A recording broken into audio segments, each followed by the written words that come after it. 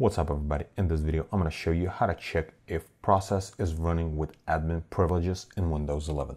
So first thing we need to do, press on start and type task manager and then open task manager app. Once this window is going to appear right here, press on more details.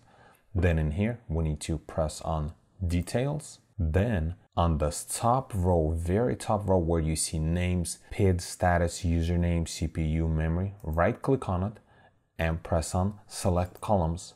Once this window is gonna appear, we need to scroll down until we're gonna see elevated and then put a check mark right next to it and then press OK. And that's it. Another column is gonna appear.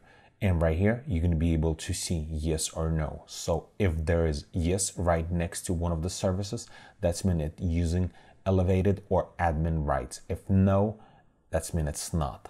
So you can either press on it and it's going to sort by yes and no. And then you can scroll down and see and find if you have any running services that you concern of and you just need to check if it's using admin rights or not. This is the way to do it. And if this video was helpful to you, press that like button and don't forget to subscribe. Thanks for watching.